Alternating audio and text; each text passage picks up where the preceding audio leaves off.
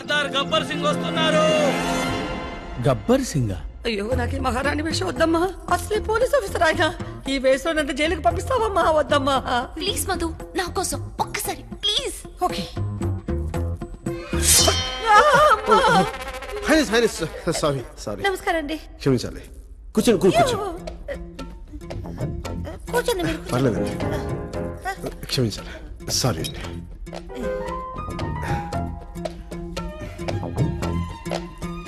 మిమ్మల్ని బాగా ఇబ్బంది పెట్టినట్టున్నాను. అయ్యో మీరు మరీను. ఇష్టంగా పిలిచినప్పుడు ఇష్టంగా. నేను గతంలో కూడా చాలా మంది పెద్దవాళ్ళు సాయం చేశాను. ఇంతవరకు నన్ను ఎవరు ఇలా పిలవలేదు. నాలాంటి కూడా ఇలాంటి అవకాశం ఇచ్చినందుకు మీకు అలా అనుకోకండి. మనం మనం ఒక్కటి. ఒక్కటే?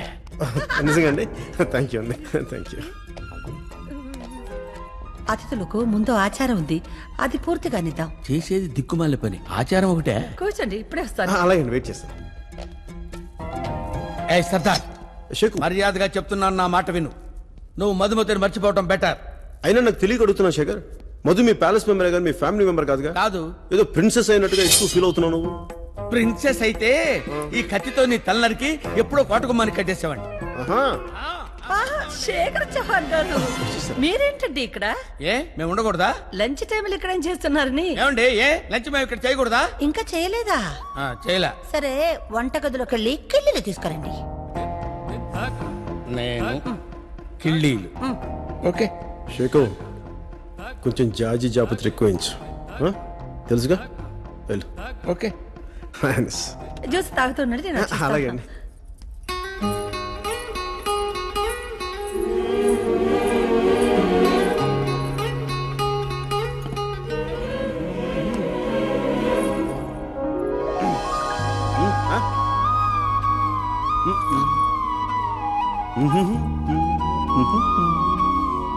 చూడు మధు నాలాంటి మగాడిని గూగుల్ అంతా ఎత్తినా దొరకడు. అయినా బంపర్ ఆఫర్ బెల్ కొడతానంటే తలుపు తినంటావేంటి నా గురించి నీకేం తెలుసు?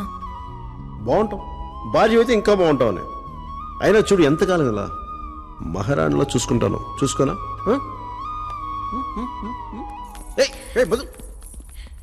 హైనస్. తీసుకోండి. ఇవి భోజనానికి ముందు అతిథుల్ని ఆనిముత్యాలతో సత్కరించడం మా ఆచారం. అయ్యో ఈ ముత్యాలు నేనేం చేస్తా? అయ్యో. క్షమించాలి హైనస్. లేదండి, నేనే తీస్తాను. ఏ నీళ్ళు? కొంచెం మీరు కొంచెం అటు ఏ షేక్ నువ్వు అప్పుడే వచ్చేసావా? లేదు ఇంకా వంటగదిలో ఉండి కిళ్ళీలు చుట్టుకుంటున్నాను. కిళ్ళిలు తెచ్చారా? ఆ తెచ్చాను. రండి భోజనం చేద్దాం. అక్కర్లేదు మిమ్మల్ని చూస్తేనే కడుపు నిండిపోయింది. Sheikh join us no I don't want to join okay వదిలేండి మీరు కూర్చోండి. మీరు కూడా. టాకింగ్ అంత హిస్టరీ ఉన్న రతన్పూర్ ప్యాలెస్ మన హోటల్స్ గ్రూప్కి ఇస్తామంటుంటే ఈ భైరో సైరన్లకి భయపడిపోతావా? నో వే ఈ బిజినెస్ టైకూన్ రమేష్ తల్వార్తో పెట్టుకుంటే ఎవరైనా లేచిపోవలసిందే.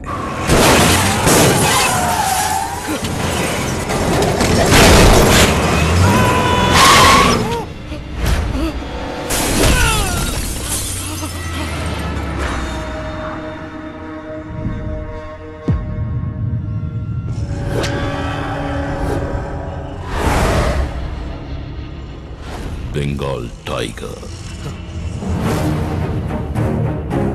నా పదమూడో ఏట నా కళ్ళ ముందే మా నాన్న దీన్ని వేటాడుతుంటే ఇది ప్రాణాల కోసం పోరాడుతుంది.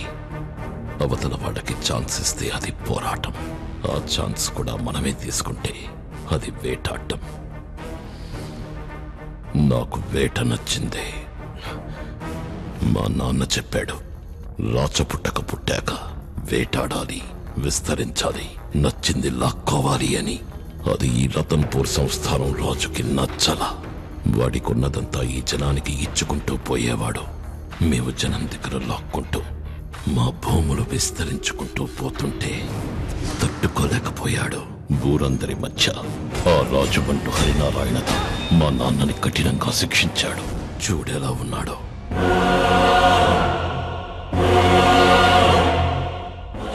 హాస్పిటల్ బెడ్ మీద కోమాలో ఉంటే వాడు పెళ్ళంతో షికారు కడుతున్నాడు. చంపేయాలనుకున్నా. చిన్న పిల్లాడి కదా. షూట్ చేయడం చేత కాదా? ఆ చావు వార్త చెవులో చెప్పగానే మా నాన్న కోమాలోంచి బయటికొచ్చాడు. కానీ ఏం లాభం? జీవజ్జవంగా అయిపోయాడు.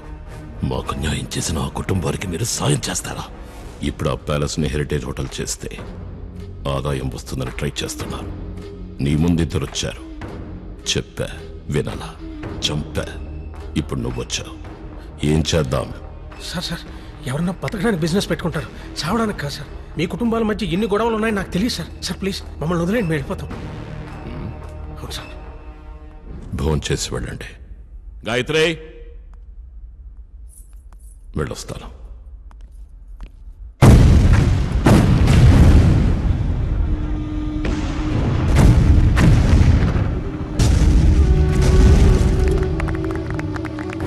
సెక్టర్ ఎయిట్ వర్క్ స్టార్ట్ అయింది సార్ గుడ్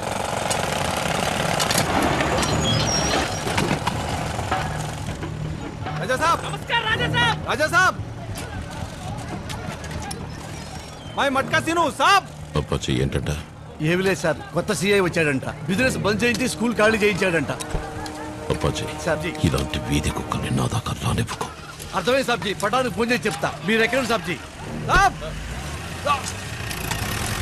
వెళ్ళిపోయి అరగంట అయింది అక్కడ. ఆడు పట్టించుకోక ఈడు పట్టించుకోక ఏంట్రా మన పరిస్థితి? మన బతుకులు కుక్క బతుకులు అయిపోయినాయి. ఇలా పండైన క్రిమినల్ గుండైన ఇలాగే పేలిపోవాలి. అర్థమైందా? ఏంట్రా సాంబా నీ సంగతి ఏంటి నేను సీనియర్ కదా సర్దార్ జూనియర్స్కి హెల్పింగ్ చేస్తున్నాను. ఎక్కడా? నిన్నే. హే రాజన్ శృంగార వీరన్. ఏడ్చేలే గానీ ఆడి కొంచెం హెల్పింగ్ నేచర్ ఎక్కువైపోయిందంట ఆడి తలపైన గుమ్మడికాయ బెటరా కాల్చి పడుతూ పోదు సర్దార్ గుమ్మడికాయ కన్నా గన్నే బెటర్ మీ దృష్టి అంతా టార్గెట్ మీద ఉండాలి. ఆహా ఏకల్ లెక్క పడుచుకొని గిలగల గిలగల కొట్టేసుకుంటున్నా సార్ మంచిది మీరు రెడీ చెప్పండి సార్ రెడీ? వన్, ఈ అసలు డిసిప్లిన్ లేకుండా చచ్చింది ఇంకా రెడీ చెప్పాను అంతే కాల్చమని చెప్పలేదు రండి రండి. ఏం చేయండి రెడీ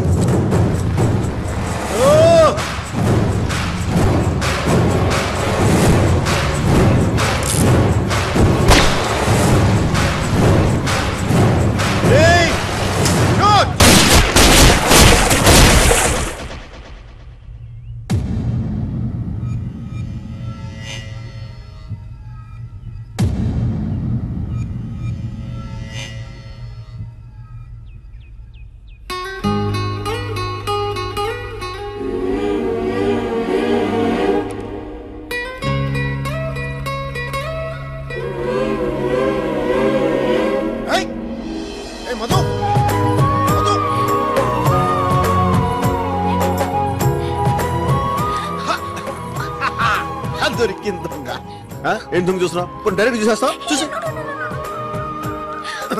నేను పిలుస్తాం. ఎవరిని పిలుస్తావు హరినారాయణ గారు పిలు. ఎందుకు నేనే పిలుస్తాను? హరినారాయణ గారు? హరినారాయణ గారు. అమ్మాయి చూడండి నన్ను ఏం చేస్తుందో. నేను రూమ్లో బట్టలు మార్చుకుంటే ఫ్రీగా చూసేస్తుంది. చూడండి అమ్మాయి నన్ను ఏం చేస్తుందో. పోనీ ముద్దు పెట్టు. ఏంటి? ముద్ద? చిన్నప్పటి నుంచి ముద్దు పెట్టేవాళ్ళు కానీ ముద్దు పెట్టేవాళ్ళక ముద్దులు కరువసిపోయాను ఒక్క ముద్దు పెట్టవా? ప్లీజ్ పెట్టను? పోనీ నేను పెడతాను కళ్ళు మూసుకో. ప్లీజ్ ఒక్కటి లాగి పెట్టి కొడతాం. ఎవడొద్దన్నా పెళ్ళి చేసుకో. బాగా చూసుకో. ఇష్టం వచ్చినట్టు కొట్టుకో కానీ బయటికి మాత్రం చెప్ప? కానీ లోపు మాత్రం నా ప్రేమను కాదు. ప్లీజ్ ఏ పిల్ల! నేనంటే నీకు ఇష్టం కదా?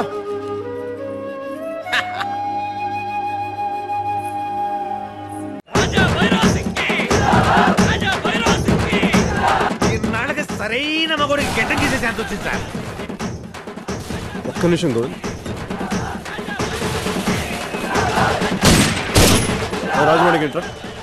ఏంటి ఇదంతా ఈ రోజు రాజా భైరవ్ సింగ్ పుట్టినరోజు. ఆయన అభిమానులు పండుగ చేసుకుంటున్నారు. ఇలా ఫైరింగ్ చేస్తున్నారు? అడగరనా ఎవరికైనా తగిలితే? ఇక్కడ ఎవడో అడగడం. ఇది ఇక్కడ ఆచారం సార్. అందనంత ఎత్తులో ఉన్నాడు భైరవ్. తల సేఫ్గా ఉండాలంటే పైకి చూడకూడదు. పాదాలంక చూడాలి. నీలాంటి కాళ్ళు చూస్తాడు. నాలాంటి మాట వెనకపోతే రెండు కాళ్ళు ఎరగొట్టి మోకాళ్ళ మీద కూర్చోబెడతాడు. అర్థమైందిగా? మనం ఏంటో చూపించండి.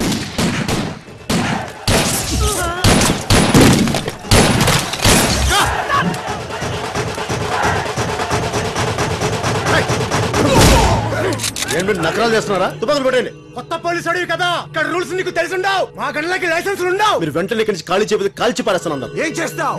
ఒక్కడివి. నలుగురిని నాలుగు వైపుల నుంచి లేపుకుంటే పోతే ఎంతమంది బొందలో పడుకుంటారు? అచ్చే! ధీరు పడండి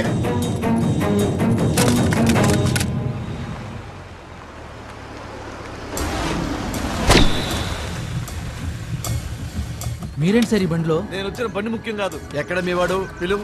ఇదిగో నిన్నే. నమస్కారం అండి. నా పేరు అప్పాజీ అండి. నేను వస్తే భైరవ్ గారు వచ్చినట్టేనండి. మీరు ఊళ్ళోకి దిగ్గానే వచ్చి కలిస్తే బాగుండేదండి. మొన్న మట్కా సెంటర్ మూయించారు. ఇప్పుడు టౌన్ సెంటర్ నుంచి వెళ్ళిపోమంటున్నారు. మిమ్మల్ని భైరవ్ గారు పిలిచేలోపు నేను కలుద్దామని వచ్చానండి. చూడండి మైన్ అంటే నాది అని అర్థం కదండి. నా అనే దానికి ఏదడ్డొచ్చినా తవ్వాలి కదండి. మనుషుల్ని కూడా. రాజమాణిక్యం? ఇది పట్టుకోమ్మా. ఇంకోసారి ఇలాంటి పిచ్చి వాగుడు వాగితే నీ కాళ్ళు వాడికి చేతులు ఉండవు. అర్థమైందా? రే. ఏయ్. అయినా సగం గడ్డం చేసుకుని చిరాకులో ఉన్నా. పూర్తి గడ్డం అయ్యేలోపు ఇక్కడ ఒక్కడు ఉండొద్దు?